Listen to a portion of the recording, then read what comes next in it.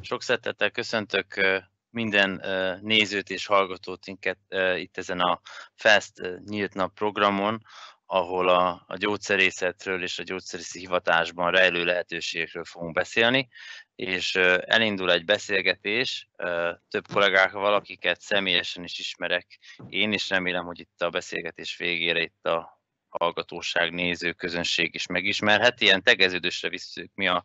a, a stílust, és remélem, hogy ez mindenkinek sugalja azt, hogy ez egy ilyen baráti, belsőleges közösség a, a gyógyszerész szakma. Tehát a jelenlevők közül Borza Erzsébetet emelném ki, akit Zsikiként fogunk nevezni, mert Pécset nálunk végzett gyógyszerész hallgató, és nagyon jó emberi és szakmai kapcsolat van azóta is köztünk. Ő a gyógyszerészetnek a, a kórház és klinikai területéről fog nekünk mesélni, illetve velünk van Kalotai Zoltán, ő a gyógyszeriparban dolgozik. Kalótén még az egyetemi évek alatt ismertem meg, évfolyamtársak vagyunk, és voltunk, és én úgy gondolom, hogy egy nagyon autentikus szereplő, aki egy, bejárt egy, egy egész tartalmas életet ott a gyógyszeriparban, és arról fog beszélni illetve hát én meg Fitler András vagyok, én a gyógyszerésztudományi karon dolgozom oktatóként, mellette volt alkalma másfél évet kórházban is dolgozni, részmunkaidőben meg tíz éve, sőt most már úristen, 14 éve dolgozom patikába, kisebb-nagyobb rendszerességgel, és mellette még az egyetemi karibfeladatok koordinálásával foglalkozom most. Na, tehát elindítjuk a beszélgetést, és akkor abban maradtunk, hogy mindenki a saját területéről beszél, Elsősorban azért, és én most egyetlen egy diát vetnék csak föl, ilyen vitaindítónak, vagy kezdcsinálónak, vagy gondolatébresztőnek. Elsősorban azért, mert, a, mert az a, az elképzelésem, vagy sokan úgy érezzük, hogy a, hogy a, a, a, a gyógyszerészettel kapcsolatban egy, egy nagy kérdőjel van az embereknek a, a fejébe, mi, mi, mi is a gyógyszerész, mit csinál egy gyógyszerész, ezt a, a, ez magyarul is, meg angolul is terjedt a Facebookon, onnan találtam ezt az ábrát, és ebből az látszik, hogy, hogy nagyon megoszlik a társadalom vélekedése arról, hogy mit csinál egy gyógyszerész, és egyébként a maga, hogy mit csinál egy gyógyszerész hallgató az egyetemen, avval kapcsolatban is. És én azt gondolom, hogy a gyógyszerész szakmában olyan, ezt úgy mondják, ilyen szak, szakzsargonnal, hogy multidisciplináris szakma, tehát nagyon sok szakma területe van, nagyon sok körbe vesz részt egy gyógyszerész, a gyógyszerkutatástól a, a gyógyszeres, gyógyszerrel kapcsolatos betegtanácsadásig, és nehéz ebbe tisztán látni, sokszor még akár a diploma előtt álló gyógyszerészeknek is, pláne azoknak, akik esetleg most hivatást vagy szakmát választanak maguknak, és a mai beszélgetés ezt ezt igyekszik körüljárni, hogy, hogy ha valaki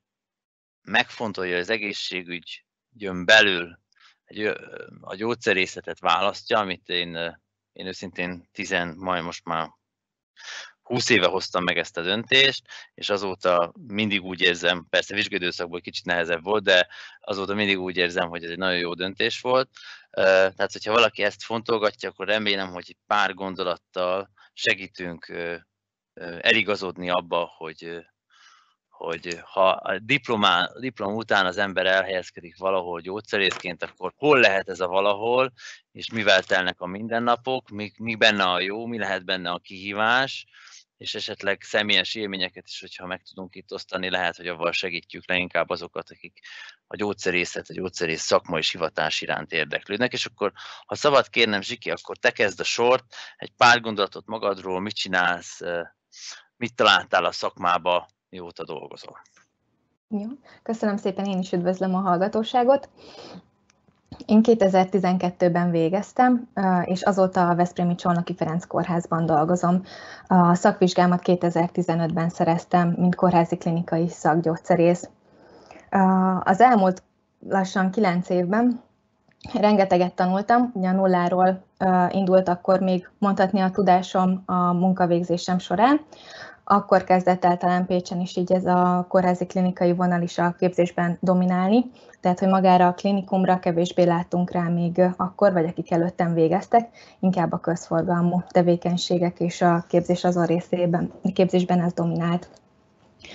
Én úgy gondolom, bár lehet, hogy minden szennek maga felé hajlik a keze, de hogy talán a legsokrétűbb a kórházi intézeti gyógyszertárban dolgozni. Sokan szerintem nem is tudják, hogy a tehát, hogyha a gyógyszertárról beszélünk, akkor inkább ez a,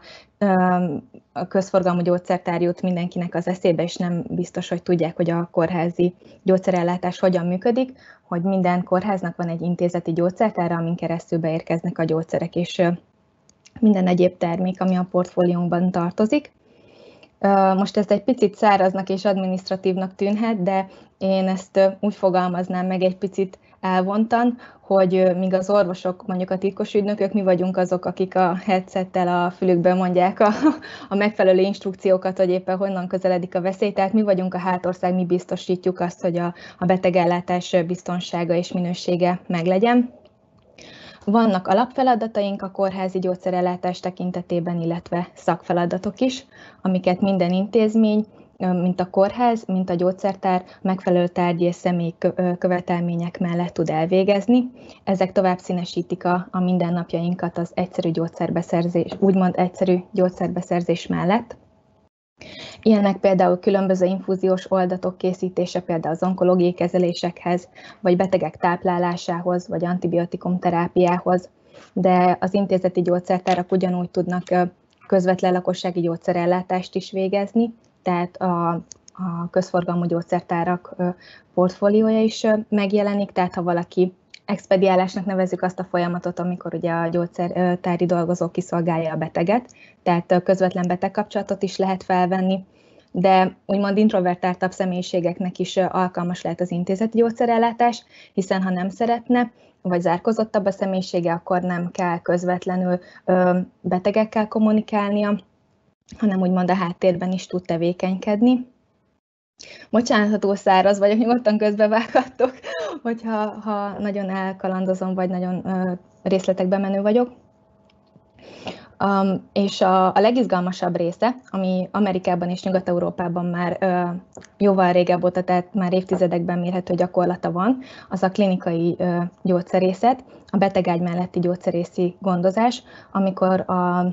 a gyógyszerész az osztályon a gyógyító tím részeként a betegágy mellett tud segíteni az orvosnak, ápolónak,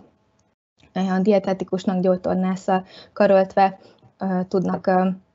közösen döntéseket meghozni a beteg terápiájában, a, a gyógyszerelését tekintve, illetve az elbocsájtáskor is el tudja látni a beteget megfelelő tanácsokkal, és az orvost is tudja támogatni, hiszen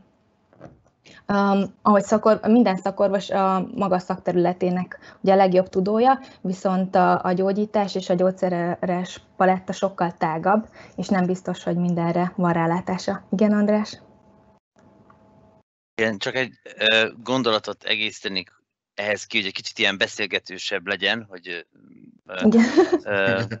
elinduljon egy, egy, egy, egy, egy ilyen diskurzus ebben kapcsolatban, hogy szerintem valahol sokak úgy érzik, akik kipróbálták a kórházi gyógyszerészi területet, hogy talán az a legizgalmasabb része, de hát az tény, hogy minden területét a gyógyszer engedélyez. Tehát azt gondolom, hogy akik most részt vesznek a, a Covid vakcináknak a törzskönyvezésébe, azok elég izgalmasnak élik meg a mindennapokat. Szerintem ők is úgy gondolják, hogy ez izgalmas munkaterület, ahol vannak. Tehát, hogy a, a, a kórházi területen is talán az izgalom vagy a, a komplexitás nagy részét a, a, a gyógyszerészi szolgáltatások adják, és én szerintem valahol ez az, amit a, a, a patikai, ezt a közforgalmú, illetve a kórházi klinikai vagy intézeti gyógyszerellátás terén a, a, az emberek nem, nem, talán nem veszik föl, vagy nem veszik észre, és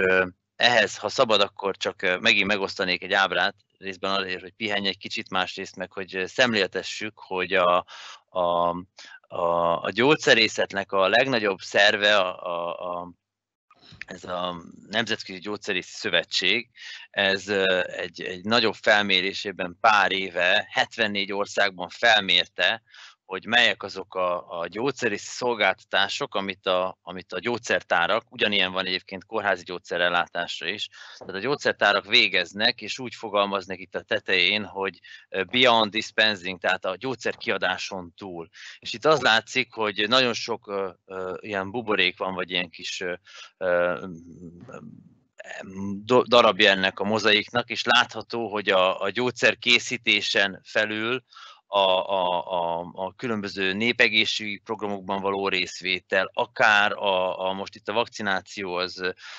talán ezzel itt nem jelenik meg, mert ez a, a, az injekciós tüknek a visszavétele, de akár a vakcináció, vagy a bizonyos beteg, betegségeknek a, a gondozása, esetleg a, a egyes országokban a gyógyszereknek az ismételt felírásának a jogosultsága is megjelenik, mint, gyó, mint gyógyszerészi feladat, és hogy ezt az ábrát azért gondoltam ide beemelni, hogy ráerősítsek arra, hogy igazából azon a úgymond mechanikai, logisztikai funkción túl, amit egy gyógyszerész ellát a, a, a, a gyógyszerellátásban. Mondjuk az én nagypapám is gyógyszerész volt, tehát praktikusan az volt a dolga, hogy a gyógyszert odaadja a betegeknek. Most azért a 21. században a gyógyszerész már e, sokkal több e,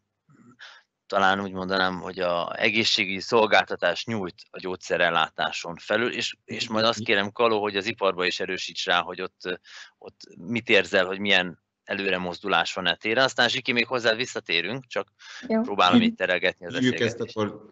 gyógyszerészi gondozásnak, ugye nagyjából erre, ez az, amit úgy kiemelnénk, tehát hogy a patikus is nem csak kiadja a gyógyszert, hanem nagyjából beszélt, úgy utókövet, utógondoz. hát ugye kerestem a kapcsolódási pontot, egyelőre még nem találtam, mert hogy magában, magában nyilván a gyógyszerészetben a szakmai rész az itt az iparban, ahol én dolgozom, az ipari, konkrétan a gyártásban, ugye az ipar is több ágból adódik. Én meglepődve tapasztaltam, de végig gondolva alapvetően ez is igaz, hogy akik ugye a, a marketingen dolgoznak, ők is úgy tekintenek, hogy az iparban dolgoznak. Nekem, mint a gyártásban dolgozó gyógyszerésznek, nekem a, a ipar az, az, aki gyártja a gyógyszert. Itt viszonylag kevés a, a gyógyszerészi ellátással, tehát a közvetlen, másképp mondom, gyógyszerészi,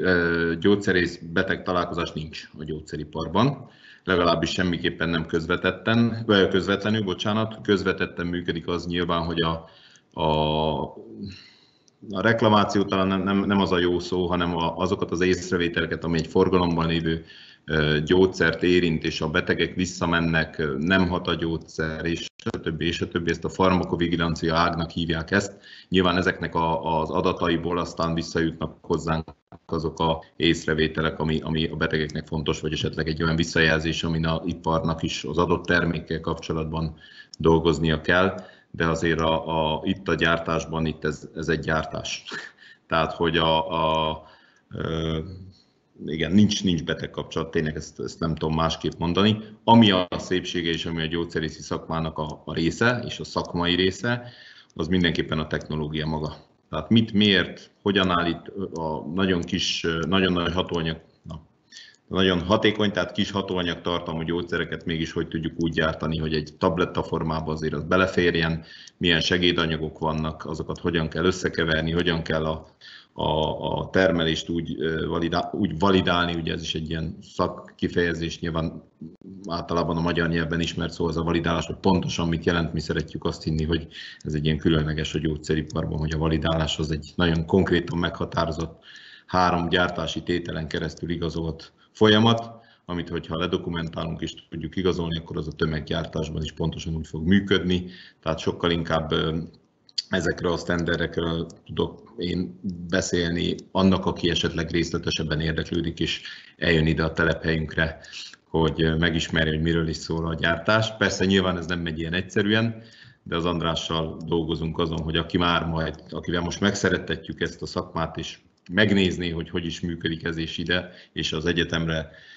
kerül, akkor hogyan tud minél hamarabb megismerkedni konkrétan az adott ágazatával a gyógyszerészetnek, tehát egy nyári gyakorlatra, egy államvizsgás gyakorlatra hogyan tudnak elmenni a, a kollégák a megfelelő helyre, hogyan tudunk egy gyakorlati helyet biztosítani. Igen, tiéd a pálya. Igen, de azt szerettem volna csak mondani, hogy ha már itt nálad vagyunk, Zoli, a gyógyszeripar gyógyszergyártásnál, akkor esetleg tudnál arról mesélni, és akkor utána majd Zsiki, ha lehet, te is így folytasd, hogy, hogy mivel telik egy, egy olyan gyógyszerésznek a, a napja, aki a, a, a gyógyszer készítésnek ezt a nagy volumenű gyógyszeripari léptékű formáját irányítja, koordinálja, mi a pontosan a te munkád, illetve esetleg az, hogy mivel kezdted, és utána most hova jutottál, és hogy ebben, ebben hol, hol leled meg az örömödet, vagy, vagy, vagy miért izgalmas ez? Igen, a beszélgetés ugye úgy indult, hogy mutatkozzunk be, akkor én, én bemutatkozom, jó én is, tehát, hogy, és igazából erre úgy tudok válaszolni, hogy, hogy elmondok egy viszony, én is egy viszonylag kevésbé beszélgetős részt, de hogy hogy kerültem én oda, ahol vagyok. Most én egy gyógyszergyári telephelynek vagyok egy üzemvezetője, száz kolléga dolgot, száz kollégát vezetek, nyilván több szinten, tehát vannak középvezetők és a többi, és a többi. Úgy akartam kezdeni, de ezt csak elmondom, és ez nem annyira szakmai rész, bocsánat, de hogy én ugye Miskolci vagyok, tehát azért nagyon örültem ennek a megkeresésnek, mert én nagyon sokat tanultam a Pécsiektől gyerekkoromban, elsősorban a női kosárlabdáról, mert sajnos mindig tanulni jártunk Pécsre a PVSK meccsekre a DKSK-val, úgyhogy talán most egy picit én is tudok, tudok valami újat mondani. Na a lényeg a lényeg, hogy én 18 éves koromban fogalmam sem volt, hogy mit szeretnék csinálni. Nagyjából néztem a Vészhelyzet című sorozatot, tehát az egészségügy az úgy megtetszett, orvosira felviteliztem, nem vettek fel bátyám gyógyszerésznek felvételizett, felvették, mondta, jó lesz ez Zolika, próbált ki. Úgyhogy én valahogy így beadtam a gyógyszerész és, és ott maradtam. És utána egy fél év után azt mondom, hogy tényleg jó lesz ez. És akkor még nem nagyon tudtam megfogalmazni, most már tudom, hogy miért. Amit András is mondott, hogy ez a multidisziplináris szakma, ez már így rögtön az elején megmutatkozott. Tehát, hogyha nem tudtam, hogy mihez szeretnék majd kezdeni itt az egészségügyen belül, szerintem a gyógyszerész diploma az egy arra pontosan nagyon, hogy még az egyetemi évek alatt is nagyon sok felé tud az ember fordulni. Azt mondtam, hogy minden tanult, tehát tanultunk anatómiát, de nem úgy, mint az orvosok, tanultunk biokémiát, de nem úgy, mint a kémikusok, tanultunk sok minden élettant, szintén nem úgy, mint az orvosok, de azért elég mélyen, elég jól meg tudtuk ezt tanulni. Ami nagyjából azt gondolom, hogy a milyen volt, az ugye a, a gyógyszerészi kémia, az egy elég specifikus tantárgy volt, illetve eh, hát egy, egyéb ilyen eh, szakmai tantárgyak, tehát maga a technológia, ugye, ami a gyógyszer készítés tudományát tanította. És úgy kerültem az iparba annó, hogy ötödévesként azt már tudom, hogy mi mindenhez lehetne kezdeni, még fogalmam se volt, hogy mihez kezdjük a diplomával, és a kollégiumban liftben ki volt éve egy papír hogy gyógyszeriparba gyógyszerészt keresünk. Hát mondom, én ugye, ahogy mondtam is Miskolci vagyok, édesapám a Lenin kohászati művekben volt művezető, tehát gyártásban dolgozott három műszakban. Nem mondom, hogy az nagyon tetszett, de azért úgy kipróbáltam volna, hogy az apu mit szeretett ebbe, és akkor mondtam, hogy hát igazából sok veszteni való nincsen, úgyhogy ezt kipróbálom. És itt ragadtam, ennek van már most, ugye mikor 2004-ben végeztünk Andrással, akkor ennek már most 17 éve,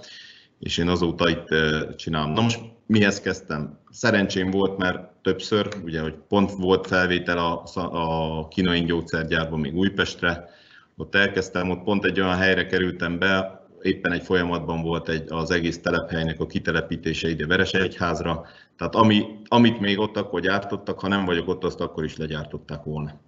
nem azt mondom, hogy nem volt követelmény, de, de viszonylag volt idő belerázódni abba, hogy mit jelent a három műszak, mit jelent az, hogy, hogy így dolgozok, és nagyon sokat tudtam a kollégákkal, a lent az, a soron dolgozó ö, operátorokkal is ö, foglalkozni. Akkoriban a feladatom szakmai volt egyértelműen, tehát ott azt kellett felügyelni, hogy minden az előírásoknak megfelelően menjen, dokumentálás, ami én azt gondolom, hogy a gyógyszeriparban az egyik erőssége, hogy az, az rendben menjen, Kicsi folyamatfejlesztés volt, de ahogy mondtam, éppen kitelepült a gyár, tehát hogy olyan nagyon nem...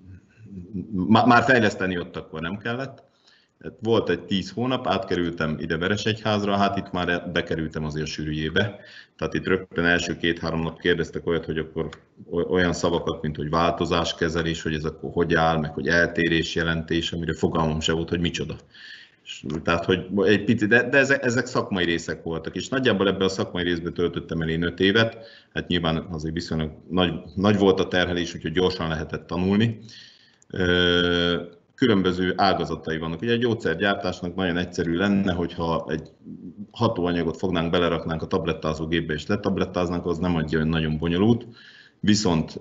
ugye, ahogy mondtam, vannak erősebb hatóanyagok, amiből nyilván keveset kell bevenni, azt azért nem árt, hogyha egy olyan tabletta formára hozzuk, ami, ami legalább, legalább akkor, hogy észre lehessen venni, amikor kinyomja az ember a blisterből. úgyhogy nyilván mindenféle segédanyagokat megismertünk,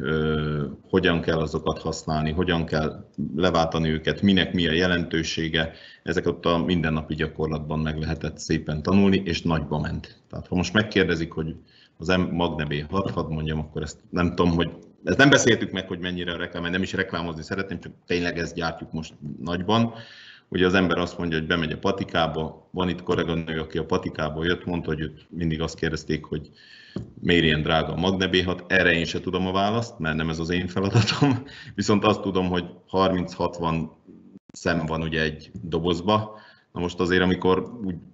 hogy el lehessen képzelni, hogy, hogy, hogy, meg, hogy miről beszélünk, mekkora, mekkora volumenről, naponta csinálunk olyan 2-3 millió szemet, tehát hogy az viszonylag, tehát hogy elég nagyba gyártjuk nyilván a világ 72 országába, úgyhogy technológiailag is ugye nyilván ilyenkor ez se titok, hát multinál dolgozunk, tehát az is egy feladat egyébként a hatékonyságnak a fejlesztése, hogy a meglévő erőforrásainkkal hogyan tudunk egy picit még többet gyártani. Úgyhogy ez volt. Mondjuk a, ha szabad így most, hogy egy kicsit megszakítsam, vagy tereljük a beszélgetést, hogy egy jó, mert a gyógyszergyártásnak van a, a, a úgymond a kis, kis üzeminek nevezzük ezt a részt, tehát a patikába az ember összekever egy, popsikenőcsöt mondjuk, vagy, vagy kikever egy kanalast, és akkor csinál egy-két dobozzal. A középüzemi szintnek nevezik azt, amikor a, és ugye az a jó, hogy a gyógyszer, kész, gyógyszer része a gyógyszerellátás különböző területein, vagy a gyógyszer úgy mondják, hogy a gyógyszerellátási értéklánc, tehát a gyógyszeralapanyaggyártástól a gyógyszer kiadásig, különböző helyen, különböző mért, mennyiségben állít erő gyógyszert.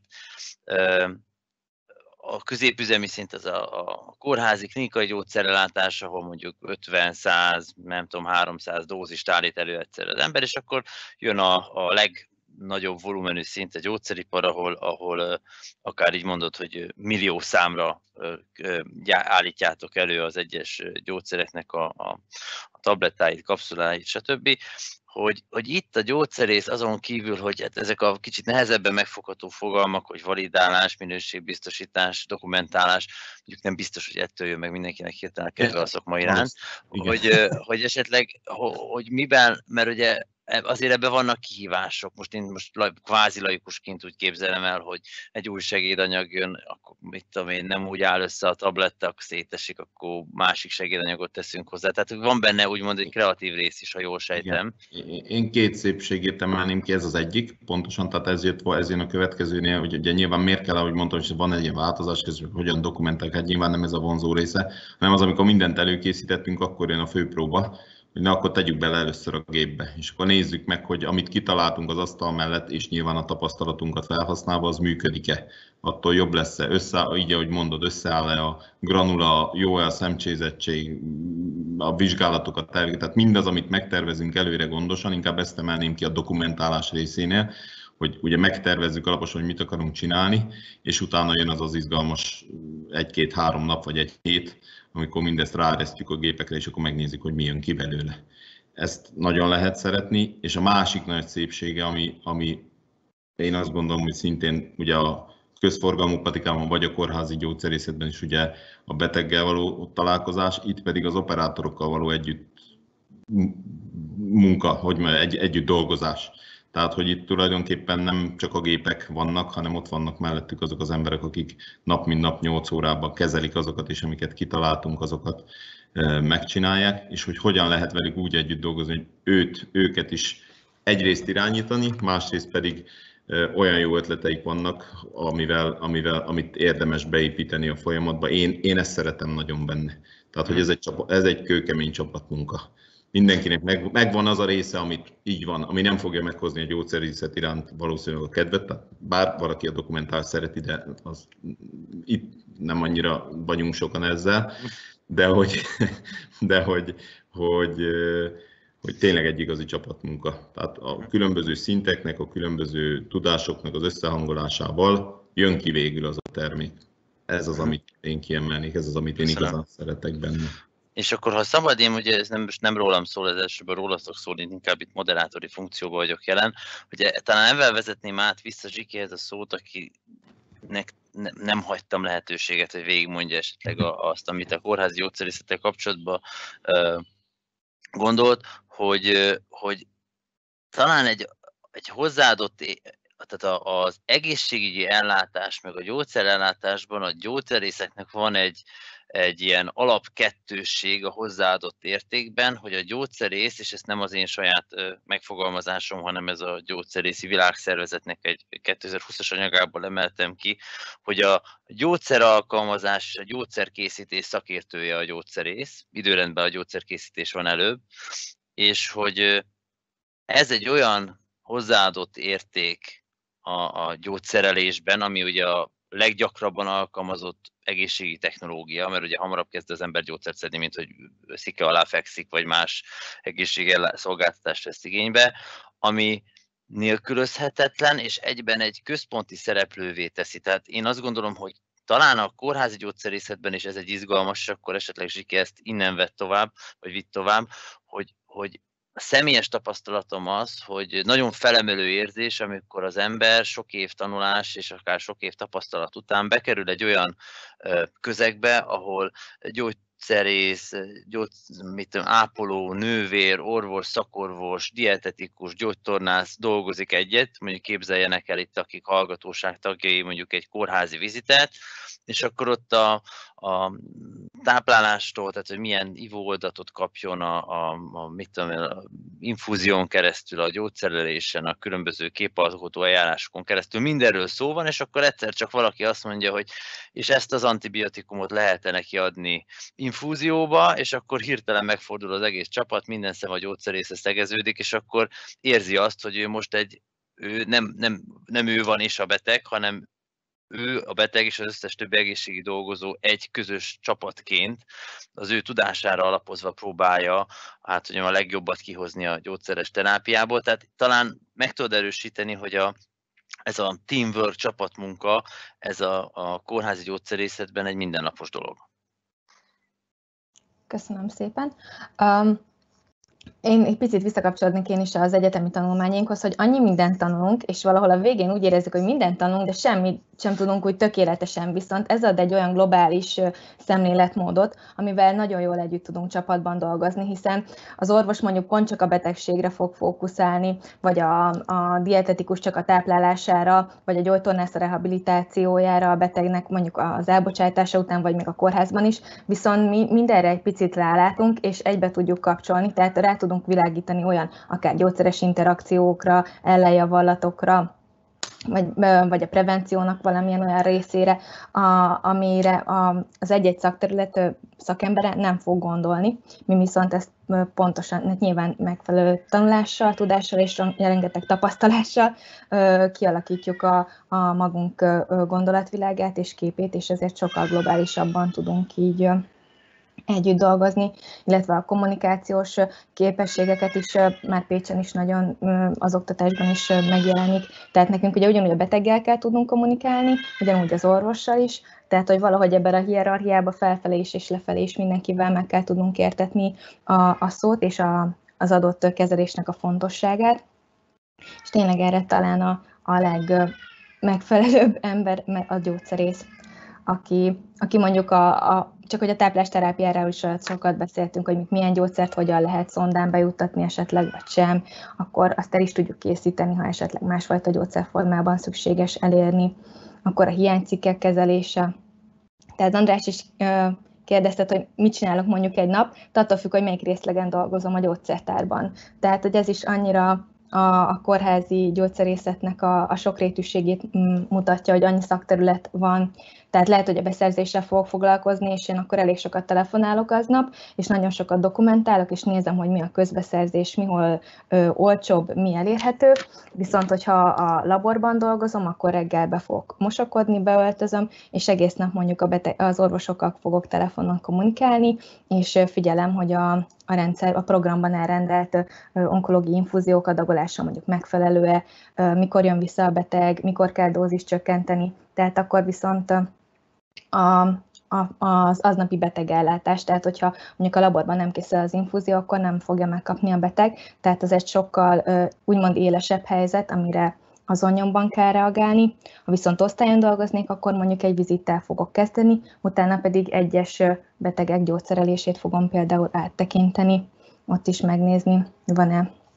bármilyen olyan probléma, amit én gyógyszerészként látok, és azt utána megkonzultálom az adott kezelőorvossal.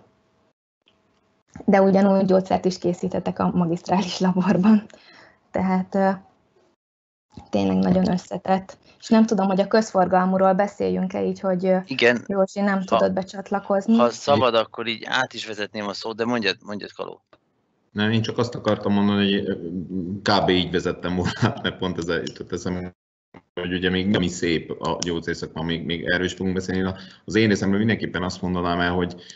egyébként meg nekem most ma gyógyszerész diploma az egy nagyon jó belépő volt ahhoz, hogy az iparba elkezdjék dolgozni, és megismerni a szakmai tehát hogy szakértőként megnézem, hogy meddig tudom menni, mennyire vagyok ott. Viszont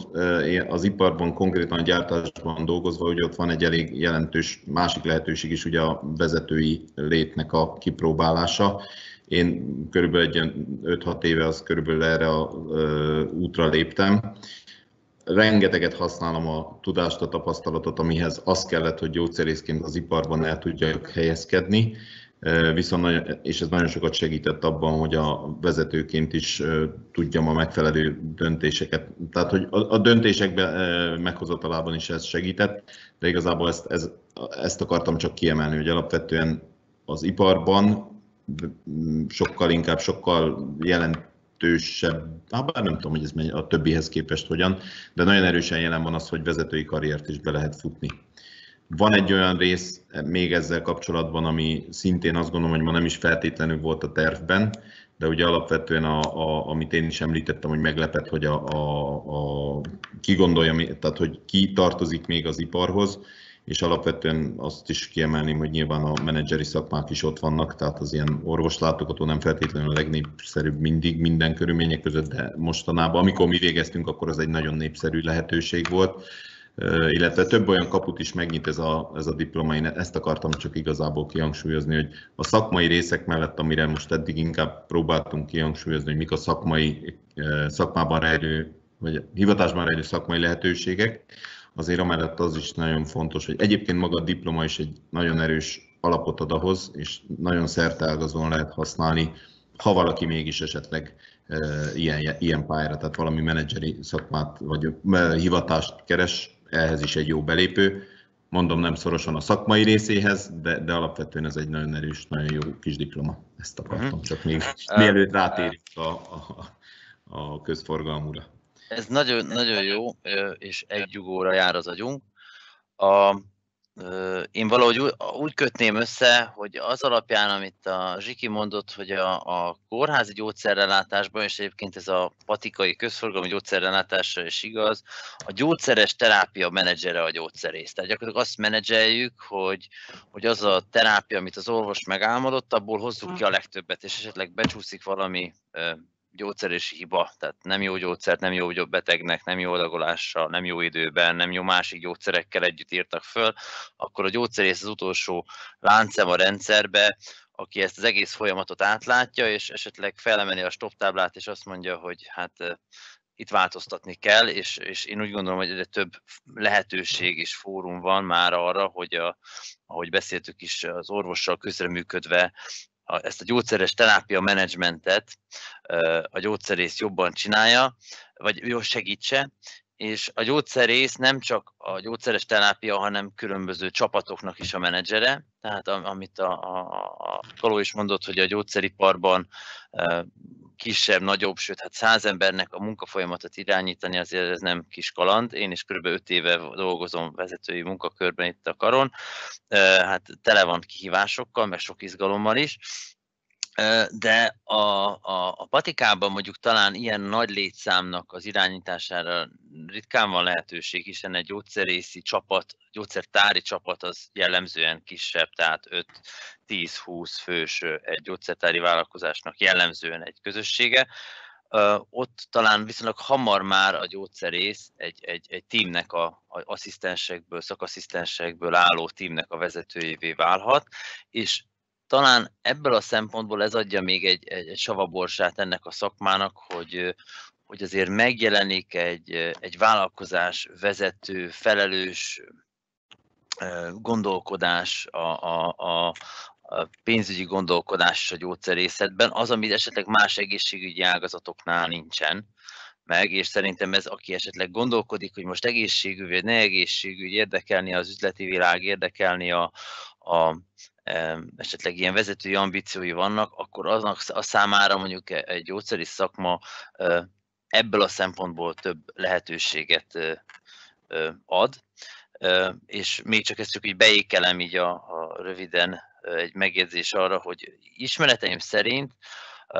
a, az elmúlt öt évben mindenképpen a gyógyszerészeknek a diplomát követően átlagosan hat héten belül mindenki talál állást. Tehát gyakorlatilag a nyár vége előtt már mindenki a diplomaosztó után kapott munkát, tehát viszonylag könnyű a szakmával elhelyezkedni, és Magyarországon a gyógyszerészi kamara beslés alapján körülbelül 800 gyógyszerészre van szükség, tehát én azt gondolom, hogy ez még egy 5-10 évig simán így marad, hogy gyógyszerész hiány van.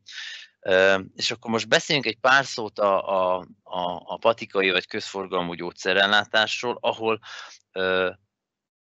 talán kisebb jelentőségű most, mint mondjuk nagyapáink idejében a gyógyszerkészítési feladatkör, és a, egyre nagyobb teret hódít a, a, a termékismeret, a termékkel kapcsolatos tanácsadási ismeret és a, a közgazdasági jellegű ismeretek, beleértve a, a, a marketinget, a, a, a, a készletgazdálkodást és stb. És hogy szerintem ez egy nagyon izgalmas terület, amire mondjuk tényleg, hogy a képzésnek is megújításra van szüksége. Itt például Pécset egy évvel, egy év fut az a program, hogy a gyógyszerész hallgatóink a közgazdaságtudományi karon a alapozó tárgyakat hallgathatnak át, ezzel színesítve az ő palettájukat a, ezen a területen, és akkor esetleg, hát én azt gondolom, hogy én is dolgoztam patikában, Zsiki, te is dolgoztál közforgalmú egységében a gyógyszertárnak, Kaló viszont neked a testvérednek van közforgalmú gyógyszertára, ugye, ha jól tudom, tehát rálátás van, hogy egy pár... Én ebben, bocsánat, én ebbe, és tényleg nem eltrolkodni akarom, én egy dolgot tudtam biztosan, amikor a gyógyszerész arra jártam, hogy nem szeretnék patikába dolgozni. És ez nem az ellenreklám, én csak egyszerűen így voltam összerakva, de ezt akkor már mindenki el tudja dönteni, hogy ez mennyire szimpatikus neki, vagy mennyire nem, és nem fogom elmondani, hogy egyszerűen, amit én ott megismerem, az nem én voltam, amire ott szükség van, ennyi csak. Igen, de, de, de talán de, ezt is mondtad, Zsiki, te, hogy, hogy, hogy a pont le, van egy kvázi egy ilyen um, haladék, a diploma választás, vagy a továbbtanulásnál, vagy Kaló, te említetted, hogy még van öt éved azon gondolkodni, hogy te most betegekkel akarsz foglalkozni, vagy rájössz, hogy neked ez sok, tehát kevésbé állít kényszerbájára egy gyógyszerész szakma, mint mondjuk esetleg más egészségügyi szakma, mert mondjuk egy diplomás ápoló jó nagyon hasonló dolgot fog csinálni, nem akarok kipészni semmit, és, és pont nagyon jó is ilyen kollégákkal együtt dolgozni, vagy egy, vagy egy más egészségi, mondjuk egy labordiagnosztánál kisebb a mozgástér, mondjuk, mint mondjuk egy gyógyszerésznél, aki akár ha munkahelyet vált egyik pillanatban, mit tudom én, millió számra gyártja a tablettákat, hogyha eléggé agilis és jót végzi a munkáját, másik helyen meg mondjuk, mit tudom én, egy gyógyszertári vállalkozásnak a, a, a sikerét, meg a növekedését támogatja, vagy éppen egy beteg, beteg, beteget gondoz és segít felismerni egy olyan állapotot, amit korábban nem ismert föl, és orvoshoz irányítva őt kvázi a gyógyulás útjára állítja. Tehát esetleg a közforgalmú gyógyszerellátásról pár szót rakjunk össze a végén, igen. Még, még csak annyi, hogy ráadásul ugye párhuzamos is, párhuzamosan is lehet csinálni. Tehát, hogy aki szeret, nem szeretne kiesni ebből, mert még, több, még, még lehet, hogy majd hosszú távon patikát szeretne venni, és azért bejár közforgalmú patikába. Mellette nekem is volt olyan kollégám még, amikor kezd, tehát a, nyilván akkor, amikor még keresgélte mindenki a szakmáját, hogy ugye ilyen klinikai vizsgálatokkal foglalkozó kolléga gyógyszervizsgálatokkal foglalkozott, Egyébként meg mellette egy héten kétszer elment patikába, hogy betegekkel is találkozzon, meg ne essen ki. Tehát amit te mondtál, hogy a sokszínűség valóban fennáll, és ráadásul különösen az elején meg, amíg az ember bírja, meg akarja, addig, addig akár többet is, még magát a munkát is ki lehet próbálni párhuzamosan, hogy mi van akkor, hogyha betegekkel dolgozok, mi van akkor, hogyha nem. Ennyi csak. Jó, Zsiki, neked ehhez a, esetleg a közforgalmú gyógyszerészet, a patikai gyógyszerészet, amit a legtöbben ismernek, és azért szánteltem én erre kicsit tudatosabban kevesebb időt, mert talán mindenki látott már patikát, egy gyógyszerészt. Az, hogy mit csinál a gyógyszerész egyébként, mi úgy mondjuk a tára mögött, tehát a, a, a színfalak mögött, az nem teljesen érthető, néha engem is ismerősök megkérdeznek, hogy akkor most egész nap kerülcsöt kevertél, tehát azért ez, ez így nem igaz. A patikai munka kapcsán, te mit emelnél ki, mi az, ami bente a szépségét látod, vagy a kihívást, vagy az izgalmat? Szerintem amennyire izgalmas és változatos a közforgalomban dolgozni, annyira ugyanúgy monoton is tud lenni, és nagyon fárasztó. Bocsánat, hogy ezzel a gondolattal kezdem így reklámozni a közforgalmi gyógyszerészetet. Nem csak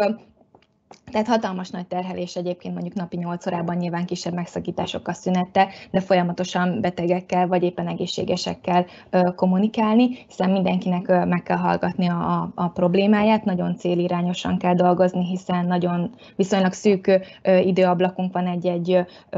klienssel foglalkozni, vagy nem feltétlenül beteg, aki gyógyszertárba jön, tehát nagyon céltudatosan meg kell tudnunk a, a gondolatait, a panaszait megértenünk őt, és utána kiszolgálni az igényét. Ugye ami nem feltétlenül lesz gyógyszeres is, tehát én nyilván, mivel nem feltétlenül közforgalomban dolgozom, én így ezt az anyagi vonzatát így általában el szoktam hessegetni magamtól, tehát mármint, hogy nem muszáj mindenáron gyógyszert adnunk a, a betegnek, tehát én azt is szeretem a közforgalmuban, mert volt lehetőségem nekem is dolgozni benne, hogy a, a prevenciót is nagyon jól a preventív gondolatokat, javaslatokat is tovább lehet adni a, a, a betegeknek, illetve hogyha olyan helyen dolgozunk, ahol lehet egyébként nagy forgalmú maga a gyógyszertár, de ha lesznek visszajáró betegeink, akkor őket ugyanúgy nyomon tudjuk követni. Tehát nagyon nagy sikerélmény tud lenni, amikor e, egy-egy személy megköszöni a munkánkat, hogy ő erre nem is gondolt, vagy éppen tudunk neki segíteni az egészségi állapotán, hiszen ugye ez még nem hangzott el, de ezt is egyből tanuljuk a, az egyetemen, hogy a gyógyszer ez egy speciális áru, hiszen a, a beteg, ha bárhova bemegy, tudja az igényét, tudja, hogy szeretne venni egy tusfürdőt, egy új cipőt, vagy éppen mit szeretne vacsorára enni, viszont hogyha beteg, akkor ehhez nem, tehát hogy egy laikus ember nem ért ahhoz, hogyha beteg, akkor merre induljon el, mit vegyen, stb. Nyilván ott az internet, tehát ez is a feladatunk, hogy uh, itt a fejekben rendet tegyünk, tehát hogy nem minden úgy van a valóságban, ahogy mondjuk a, a weboldalakon olvassa valaki. Tehát az, hogy mi egy hiteles információt tudunk szolgáltatni a hozzánk betérőknek, és, és az egészségüket, amit ami szinte a legfontosabb értékünk, hiszen senki nem szeretne beteg lenni, tehát hogy ezt megőrizni tudjuk, vagy visszaadni a betegeknek. Tehát ez szerintem egy nagyon lehet, hogy most túl patetikusra sikerült, de tényleg aki empátiával tud a, az emberekhez fordulni, neki nagyon nagy sikerélmény az, hogyha valakinek az egészségével kapcsolatban segíteni tud, és, és ezért hálásak is az emberek. Nyilván emellett vannak mert ha valaki beteg, akkor nyilván nem a legjobb paszban van, tehát biztos, hogy mindenkinek, aki közforgalomban dolgozik, számos sérelme is esetleg adódik, mert nem úgy viselkedett vele, egy-egy paciens nem úgy beszélt, vagy Esetleg voltak atrocitások, de ez elhanyagolható tud lenni a, a sikerélmények mellett, és fel tudja tölteni az embert. Igazából most itt meglovagolva azt a, azt a szót, hogy segíteni az embereknek, a, a gyógyszerészetet az orvoslással, ápolással együtt, meg egy csomó más szakmával együtt segítő szakmák közé szokták sorolni. Tehát ez nagyon jól leírja azt, amit talán mondjuk esetleg pályaválasztásnál lehet egy motiváció, hogyha valaki olyan olyan munkakörbe dolgozna szívesen, ahol, ahol, ahol, ahol, ahol azt, azt keresi, és az okoz számára örömet, hogy másokon segít, akkor akár közforgalmú kórházi gyógyszerellátásban ez egy, ez egy nagyon jó lehetőség. É, elsősorban azért is, és talán ez, ez ritkán kerül kimondásra, most a járvány miatt nagyon sok helyen a, a, a szakmai sajtóban megjelent, hogy, hogy világszerte a legkönnyebben elérhető egészségügyi dolgozóvá gyógyszerészek váltak. Mert nagyon sok hely, ahova a betegek bejártak, azok a járvány miatt nem volt átmenetileg elérhető, viszont gyógyszertárak mindig mindenhol nyitva voltak. És, és sok kollega jelezte vissza azt, hogy, hogy, hogy sok, azt veszik észre, hogy, a, hogy az emberek most vezezték föl igazán, hogy mennyi minden kérdésben kereshetik meg a gyógyszerészt, aki egy, egy, egy széles ismeretség, ismert, szakismereti körrel rendelkező egészségi dolgozó, és, és én talán valahogy ezzel a, az üzenettel erősíteném meg mindazt, amit elmondtunk, hogy egy szá, nagyon széles palettán lehet választani, aminek a gyógyszerkészítéstől a gyógyszertárvezetésen, vagy a vállalkozás vezetésen, gazdálkodáson keresztül egészen a, a, a beteggondozásig számtalan elhelyezkedési lehetősége van. Van igény gyógyszerészetre, én azt gondolom, hogy ismereteim szerint a, a, a gyógyszeriperban is, tehát az ipari visszajelzések tavaly év során az volt, hogy minden gyógyszer gyártóhely Magyarországon várja a gyógyszerészeket. Úgy tudom, hogy a kórházi gyógyszerellátásban is megvan, talán itt van Zsiki a legnagyobb lövekedés. Én úgy gondolom, hogy talán 5 év alatt 20-25%-kal megnőtt a kórházi gyógyszerészek száma a, a, gyógyszer, a kórházi gyógyszerellátásban az elmúlt időszakban, tehát ott, ott elindult egy dinamikus növekedés, nagyon sok a fiatal, új szolgáltatások jelentek meg, tehát ez egy ilyen nagyon dinamikusan fejlődő része a gyógyszerellátásnak, de a, a, a patikai gyógyszerellátásban is azért egy csomó újdonság jelenik meg, és talán erről mondjuk nem esett szó, de a, például vannak olyan gyógyszertárok, ahol ilyen gyógyszerkiadó, gyógyszerkiadás segítő robotok jelentek meg, internetes gyógyszerforgalmazás is, mint új forgalmazási csatorna megnyílt.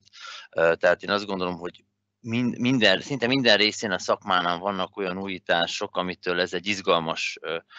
időszaka. Én a, múltkor azt mondtam a hallgatóknak, hogy én, ha választhatnék, akkor én most lennék gyógyszerész hallgató, mert én azt gondolom, hogy most a, a 2020-as évekbe kerül majd egy új dimenzióba a gyógyszerészet a világ számos helyén. Csak mondom példát, vannak olyan országokkal az elsőleges oltópontok közé ütemezték be a gyógyszertárakat, és már részt vesznek a gyógyszerészek a, a vakcinációban is. Tehát, hogy én azt gondolom, hogy újra felfedezi az egészségügy meg a, a társadalom a gyógyszerészetet, és emiatt aki eddig izgalmasnak látta, az majd még izgalmasabbnak fogja látni a 2020-as évek vége felé. Esetleg van-e pár záró gondolat itt a részletekről, mert én amit így szerettem volna, így, ami él, élmények, érzések felmerültek bennem, azt megosztottam. Zsiki, esetleg valami záró gondolat pár, pár szóra még van időnk. Uha! Hát én mindenképpen buzdítok mindenkit. Én úgy indultam el, hogy a kémiát nagyon szerettem, és fogalmam sem volt, hogy milyen lenne emberekkel dolgozni, tehát én engem a száraz kémia érdekelt egyedül, és a matek, ahhoz képest iszonyatosan élvezem a, a mindennapi munkámat, tehát tényleg aki, aki valamelyik ágát is szereti annak, amivel, ami a képzés része, és el tudja sajátítani magának, szerintem mindenhez meg fog jönni a kedve idővel, és, és nagyon széles a kimenet. Tehát, hogy annyi felé el lehet helyezkedni egy gyógyszerész diplomával, hogy kár lenne ezt kihagyni. Én, én pedig, igen, jobb be van kapcsolatban. Én pedig annak ajánlanám, aki szeret mindenhez is érteni egy kicsit, és szeret mindent is kipróbálni egy kicsit, mert ez erre egy remek szakma. Tényleg én is nagyon sok mindent próbáltam, és élveztem, szerettem, sőt szeretem is ezt a szakmát. Ez szubjektív, de én ezt tudom mondani, tehát ezért jöttünk egy kicsit ide, azt gondolom, hogy azt mondjuk, és a Zsikitől is ezt hallom, és meg az András tőled is, hogy mi szeretjük ezt a dolgot úgy, hogy azt gondolom, amit csinálunk. És mind a három, egy közös pont van, jó több is, de egy biztosan, hogy mind a hárman gyógyszerészek vagyunk. Igen. Jó, úgyhogy ajánlom. Van, van egy egészséges szakma sovinizmus szerintem itt a, ez a bennünk, de ez így Mit is van és akkor még csak a zsikire reflektálva mondta, hogy kémiából felvételeztél, meg érdekelt a kémia, a matematika, azok esetleg, akik úgy érzik, hogy kémia nem a legnagyobb erősségük, kérem ne vegye kedvüket, mert én fizikából felvételiztem, és a vízképletén kívül nem sokat tudtam most így utólag bemelem vallani a kémiából, de azért az ember ponttal való az egyetem, biztos, hogy segített volna, hogyha többet tudok, de, de aztán végül fölzárkóztam az egyetemen belül, mert erre valók az egyetemi oktatók, erre való az egyetemi képzés, meg az akadémiai vonal, amit én csinálok, de erre most erre nem akartam beszélni, remélem a hallgatóság majd csatlakozik ide hozzánk Pécsre, és akkor lesz alkalmunk személyesen megismerni egymást. És ennek ellenére sikerült, mert nem az a fontos, hogy éppen most miből vagyok jó, hanem hogy mit szeretnék csinálni, és hogyha valaki egy itt általunk leírt életutat tud elképzelni magának, akkor akármilyen tárgyból is erős vagy gyenge, a, a, ha itt a célvezérelje, és én azt gondolom, hogy ha ezt a célt ő magának kijelöli, akkor arra valók az egyetemek, hogy ebbe a folyamatba őt segítsék. Jó, köszönöm szépen Borza Erzsébetnek és Kolotai Zoltánnak, hogy velünk voltak. Köszönjük szépen a hallgatóságnak a figyelmet, akár szülők, akár érdeklődők, és természetesen akár a pályaválasztás előtt állok. Sok sikert kívánok mindenkinek az érettségéhez, meg a pályaválasztáshoz is, és mindenkit szeretettel várunk itt Pécset a Gyógyszerész Tudományi Karon. Szervusztok! Sziasztok! Köszönjük szépen! Sziasztok!